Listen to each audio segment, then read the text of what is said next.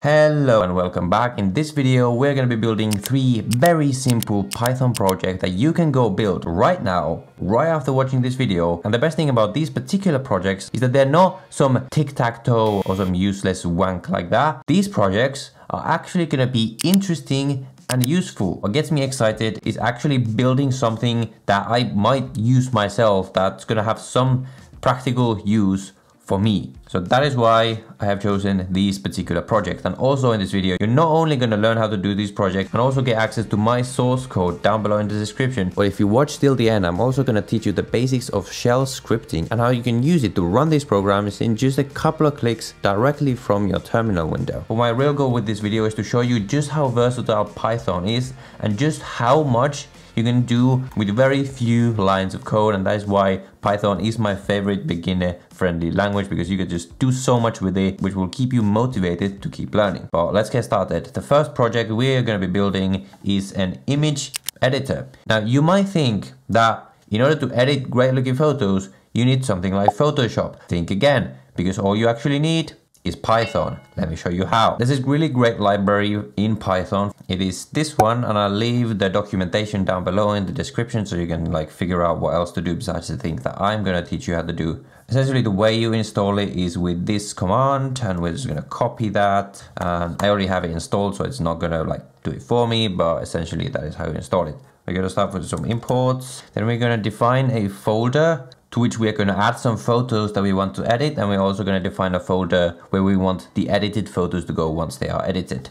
we're going to define these as variables just like that. So let's say I have some sexy images of myself which I want to edit to look a bit better. Essentially, if I want to make a new Instagram post out of these, I might want to edit them a bit. Usually I would do this in like Photoshop. If you're using Python, it's going to be much easier and much faster, as you will see. And now to access all of these photos, the magic of Python is that you can apply all of the same edits to all of the photos in this folder automatically. And to do that, we're gonna apply some magic. Just kidding, just some Python code. For file name in os.listdir with path. So essentially all this piece of code does is access all of these files, all of these images in this folder, and I'll apply all the code which we're gonna write to it. First, to open this image using this library, we're gonna go image dot open, and we're gonna do this. This is an F string to make sure we accident the whole file. You can just copy this exact one. Essentially now this variable holds this image object, which is gonna allow us to do some edits to it. For example, what we can do is sharpening. We're gonna go edit equals image dot, and I need to filter, and inside we're gonna go image filter dot sharpen. We're gonna need to do a bit of trickery. Essentially, we need to clean out the name, edit dot save, and I had this saved, and I'm gonna do like that. And essentially, this thing is going to apply some edits to all of these photos and save the edited images in this edited image folder. You ready? We got Python 3 photo editor.py and now we have sharpened versions of these images. It's probably not very clear and for some reason he rotates them to the left. So actually what we need to do is to this one, we need to do dot, I believe it's convert and a capital L inside. I don't just know this by heart, I learned this by looking at the documentation and the things that I'm doing here are just examples that you can do. By going into the documentation you can find a bunch of other types of edits that you might want to do. This is just examples, so if you do that, well, actually, no, I forgot. to convert to L is actually the way you convert it to grayscale. I actually kind of like that, so we'll leave that. The way you did rotation was by doing, well, rotate, not convert. And we're gonna go, I believe you do minus 90 in this instance. And now they are the right way around and they are also black and white. Then you could obviously do a lot of other things. What I like to do to my images is increase the contrast. You would do is define a factor to be 1.5 for example. Enhancer equals image enhance dot contrast which just creates this object again with like contrast editing capabilities or something like that. And inside we put edit and now we have this enhancer ob object. And this we're to go edit equals enhancer dot enhance with this factor that we defined And now this new image should have some more contrast. We're gonna see if this works. If you open these, you can see that these are a lot more contrasty. And basically, what you could do, if these are the exact edits that you would want to do to all of your photos which you're posting on Instagram, for example, what you can just do is copy them to this one folder, just run this program and automatically everything is to be applied. You don't need to like manually edit every photo anymore ever again. Pretty cool. Let's move on to the next project. This next one is a YouTube video downloader. Now let's say you're going on a trip, for example, you're going on a road trip or you're going on a flight where you're not gonna have access to internet, yet you still wanna be able to watch Internet Made Coder videos while you're on your trip. Or maybe some other YouTubers, I guess. How do you solve this problem? Well, what you could do is sign up to YouTube Premium and pay YouTube like, I don't know, what is like $10 a month to be able to download videos to your computer. Or you can code like 15 lines of Python code and simply download all the videos that you want to download to your computer for completely free and I'm going to show you how to do that. What we're going to do is, in, again, we're going to be using a Python library. The library we're going to be using here is called PyTube. We're going to copy, install PyTube like this. I already have it. And from PyTube, we're going to import YouTube. I believe it's actually YouTube, like that. Then we're to go from sys import argv so the way I want to be able to run this program is just from the command line, I want to be able to run this program name as well as the link to the YouTube video which I want to download. The way we're to be able to access the link from the command line in our Python code using this argv built-in library. What this means is that essentially argv takes all of the things that you input into the command line when you're running this program. Essentially, the first argument is always going to be the program name. So that's why we don't want to access this one because this would just out output the name of this program. argv1 is going to be the first command line argument which we give when we run this program. So that is how we're going to be able to access it. And then we're to need to create this YouTube ob object from yt equals YouTube. And I believe I need to put this link inside of it. So it's to be create this YouTube object from this link. And basically, first, let's just try to print some information about this YouTube video which we want to download. For example, we want to print the title of the video just to see that it works properly. Title equals, and we could go yt dot title like this like this right? Yeah. And then we might also want to print the number of views that that video has right now. Views colon and the way we access that is just yt dot views i believe. Yep seems to work. And let's just see what happens. So we're gonna go python 3 yt downloader and i believe i need to put this in quotation marks just like this and just like that. It works it shows title of the video as well as the current views of that video. Pretty cool. Okay so now if we want to download this video what do we actually do? Well it's very simple. It's actually only two lines of code. Let's say we're gonna just define a variable called yt equal to yt dot streams highest resolution Essentially what this does is because there's obviously multiple different streams of the video that you can download. You can download the 4K version or you can download the 360p version if you've got potato internet. Essentially this function here ensures that it's going to download the highest version of the video possible. So in this case, I believe there's a 4K version. There should be a 4K version available of that video. And then we just go yt.download and then we need to input the folder to which we want to download this video. Usually use this program myself when I'm editing these YouTube videos and I want to include some clips from either my own YouTube videos or some other YouTube videos. And I usually like to put them inside this kind of folder right here. And you're obviously just gonna input whatever folder you want your videos to go to. And then we're gonna see if this works. It's gonna download and you see that it's sort of waiting, it's waiting for the video to download and looks like nothing went wrong.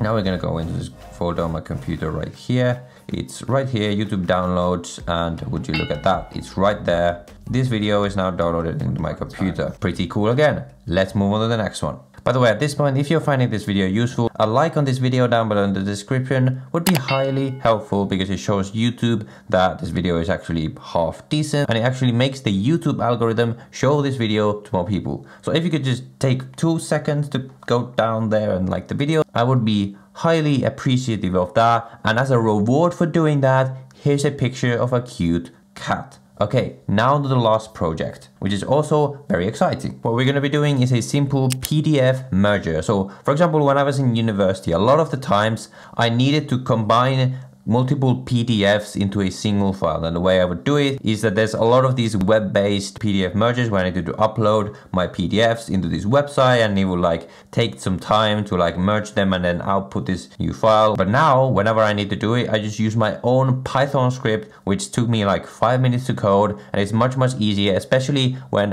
at the end of the video, I show how to actually run all of these just from your terminal window using shell scripting. But first, let's code this up in Python. What we're gonna need to install here is another library.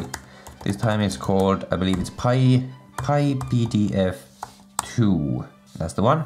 And we're gonna import it from import PyPDF2. Then we're gonna import sys and let's start coding. Now over here, I've got these two pretty disgusting looking PDFs from my university days. Oh God, I'm so glad I never have to read stuff like this again. But essentially, let's say I'm still an economics student at university. I need to combine these two files into one file to upload it as an assignment or whatever. For file in OS list dir. Now we're gonna import OS as well. And the way we're to access the current directory is by going os.cur.dir like this and we're gonna, just to print file to see that it's working. Actually not like this obviously like this. And then obviously we need to check that the file is actually a PDF so that if file ends with .pdf then we want to access the file and do some magic to it. And just like that we can see that it is indeed working and now we can just merge them. Essentially the way we do it is we create this merger object by going pypdf2 dot pdf file merger right there and inside we don't need to put anything this creates this merger object which we can now do some magic to to merge these files and all we do is two lines of code we go merger append file not file file, just like that.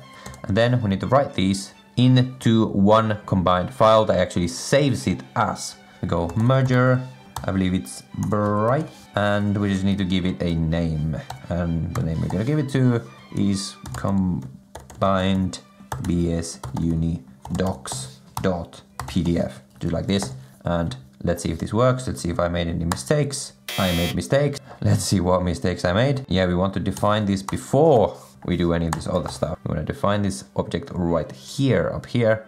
Okay, it does look like it worked. And yeah, again, I will leave the documentation to this library in the description if you want to do other stuff with PDFs. But this is just a very basic, it's exactly, it's 10 lines of code and you can just do the same thing that would have taken at least a couple of minutes before. Pretty amazing. Now, what I'm gonna show you is how you can make this even faster. So normally to run the script, you need to go to your terminal window and then cd into the appropriate folder where all of these programs reside, which would take some time, obviously, if you wanna run this multiple times. But what you can do instead is code something called a shell script which you can just basically run from this command line window, which opens up every time you open your terminal window. Essentially, for example, for my YouTube thing, is I can just go zsh youtube.sh and then give the link and it's just gonna download it. And the way you do that is pretty easy. You're gonna create a new .sh file, which is basically a file which you can run using your shell script directly from your command. You just do exactly what I do. What we're gonna do is go nano, which is this command line based text editor and we're just gonna give it a name yt.sh and the sh ending is really important here we go enter we're gonna create this file basically here all you do is you go cd and then you copy the folder where your file resides the way you get these is you go to where you would normally run your python code in your w D, which stands for present working directory. And you get the present working directory, you copy it. So basically what we're doing is once this file runs, the first thing it's gonna do is gonna cd, so change into the correct directory, and then it's simply gonna run the file. We're gonna go python 3, and actually I almost forgot a very important part. At the start of these shell files, what you need to always include is this line, which is like hashtag, exclamation mark, slash bin, slash sh. It essentially tells the program what version of the shell or what program it needs to use to run this. Basically, you don't need to know any of that. Just include this line at the top of all your shell scripts. Then you do this